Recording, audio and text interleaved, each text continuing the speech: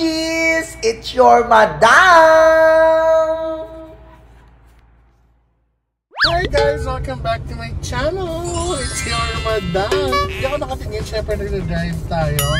And we're on our way now to Cavite. Kasi I have several things to do there. Bibisitahin natin yung aking mga cute na cute na mga pinsan because they miss me so much.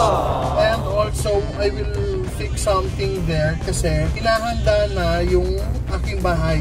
So the last update kasi ay ano na siya, ready for moving in. But unfortunately, tinamaan tayo ng COVID. So, for sure kung ano na nangyari. But I have to check because to move soon, dahil expired na din yung contract natin dyan sa ating nirerentahan. Pero our landlady is very good enough naman to let us stay longer na kahit walang contract muna. At not until we really finalize our move out date. Kasi nga, basta ang daming kailangan ayusin, ang daming requirements, it's not easy and yung sitwasyon pa natin, nakadagdag. So, I have to fix everything as early as I can because it may sound simple but it's, it's, it's not actually as simple as it looks. So magkakakita tayo ngayon.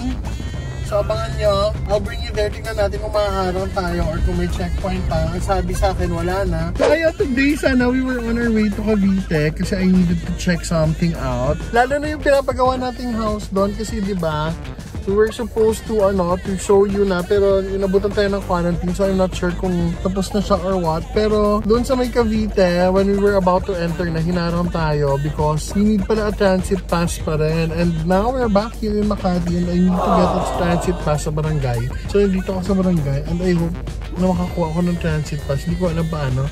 Pero let's try A few moments later. We're back in the house and hindi ko na na-vlog yung nasa loob ng barangay because sobrang dami ng tao tapos sobrang ng init. And I really wanted to get my ano my travel pass. Pero unfortunately yun pala we have to follow several guidelines which makes us kumbaga hindi qualified for a travel pass So, just to remind everybody, para lang din alam nyo, for everyone who wants to travel, I mean go out of Metro Manila for whatever purpose, unang-una po, bawal pa rin po ang mga bata at ang senior citizens. Bawal po silang lumabas dapat muna sa tamang edad. Marami po kasi atang nalilito doon sa balita na nag-announce na yung PNP Director General that you can already travel. But then, yung context po noon is within NCR lang. So, if you go out of NCR, kailangan mo pa rin ng travel pass. So, ang travel pass po ay good for one-way travel only. So, ibig sabihin, kung pumunta ka ng Cavite, pag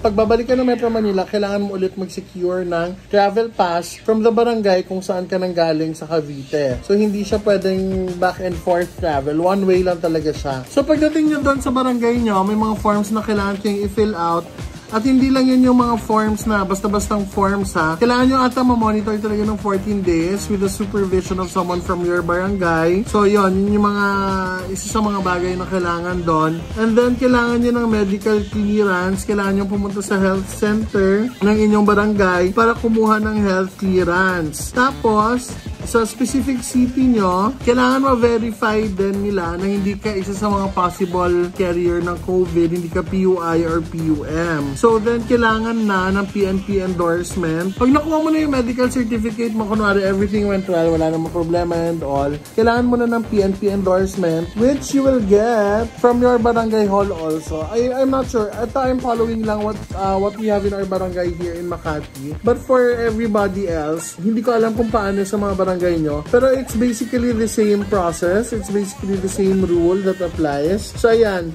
saka lang ikaw bibigyan ng endorsement letter para magkaroon ka ng travel authority so that you can go out of Metro Manila.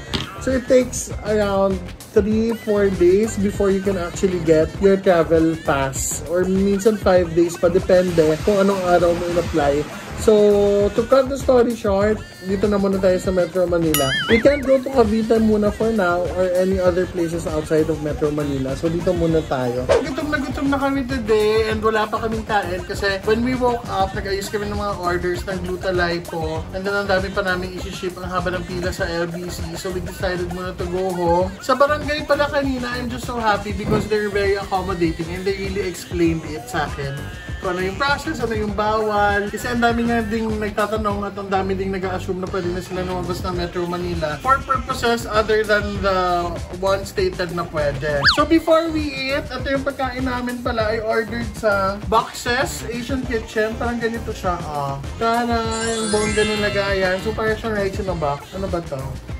Ah, yung beef. Ayan. Wow! Yummy! Yummy and so mabango because you're hungry.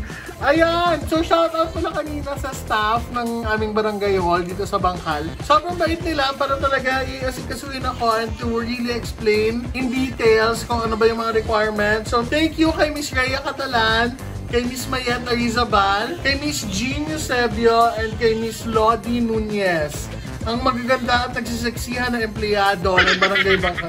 Alam niyo, may binabasa po na. Sinulat po talaga nila. So, shout out po sa inyo. Maraming maraming salamat for doing a good job. Sila po ay ang aming mga frontliners dito and I'm really happy that we have people like them who are very accommodating. Sobrang nakakapagod yung trabaho sa barangay. When I went there kanina, sobrang init din because of the weather now and yung mga electric fan, it doesn't do anything good, mainit pa rin yung buga. And sa lahat ng oras, ang daming nag apply ng kung ano-anong documents because we need a lot of documents these days. So, so sobrang sipag nila. And minsan nagbabago daw bigla yung mga alituntunin ng DILG so they have to be updated. Pagbago na. Ang galing pala, tumatawag pala yung national government sa mga barangay or sa mga local governments like City Hall para i-inform sila or padalan sila ng memo and everything else na dapat ganun kabilis sila umaksyon. Dapat ma-implement agad. So kain na muna tayo and then later, sakto din, tapos na yung ano ni Oreo, yung bago niyang damit. So ipapakita ko sa inyo kung paano siya i-install at magpapadala tayo ng mga Glutalite po na orders natin nationwide. I'm so thankful. Ang dami nag-order. Maraming salamat. Wala pa po tayong stocks ng juice and coffee. But we will update you all kung kailan magkakaroon. Kaya tara, kain na tayo. I can't wait. So ayan, nandito na kami ngayon. Dito lang din sa kabilang kanto namin. May mga upholstery kasi dito. Kaya ang bongga dito sa lugar namin. And papapalitan namin yung seat cover ni Oreo. So ito na yung bago niyang seat cover. Pero hindi niyo pa ma-appreciate syempre kasi hindi pa siya nakakabit. Pag nakabit yan later, maganda yan. Fit na fit, nagpagawa ko ng leather specifically for Rush. Kasi dito sa front niya, may mga airbags yung upuan. So kailangan dapat naka-design talaga for Rush yung seat cover. Good thing, nagagawa sila ng for Rush. Kaya tignan natin yung final product later pag nakabit na. One eternity later. So gabi na nga at akala ko kasi sinasalpak lang yung seat cover, hindi pala. Nakakaloka, ang dami palang etcheboretso. Para magmukha siyang fit na fit doon sa upuan. So ayan, tingnan mo. So ito na siya. This is how it looks like. Siyempre orange. ayan, pinupunasan nila, lagyan na nila ng ano, ng leather conditioner para maging shiny siya at tumibong. So dito sa Rush, kasi may airbag dito, so may butas for the airbag. It's it's nice. I'm so happy. Mukha ng ano si Oreo. Mukha na siyang gaming chair. Diba? Fit na fit. Ang bongga. Yung pinagawan ko, sila din gumagawa ng mga upuan sa mga SM Cinemas, Ayala Cinema. Dito lang yan sa Evangelista. And they're so happy kasi nagpagawa tayo. Alam nyo, nung when the pandemic hit, wala silang gawa. And nagde-depend yung majority of their earnings sa clients, kung how many clients yung nagpapagawa. Pero may sweldo sila everyday. But it's not that big. Yung compensation model nila, mas malaking percentage doon ay ang nanggagaling sa mga clients, of course, which is obvious. So, ayan, in one way or another, nakatulong tayo because nagpagawa tayo sa kanila just right after the ECQ. Oo, okay na? So, ayan, binigay niya sa atin yung wipeout. So, because I'm so happy, I bought them, I bought them dinner also may restaurant kasi dito sa tawid lang. So, I hope that they'll enjoy dinner and I hope that we both made each other happy. So, I'm really happy. Ang ganda talaga ng gawa nila. Parang artist. Tignan mo kung gano'n kapulido. Even this oh, sa likod. Look. Ang pulido, no? Try lang natin yung forward. Hirap talaga nito. Dito nga din.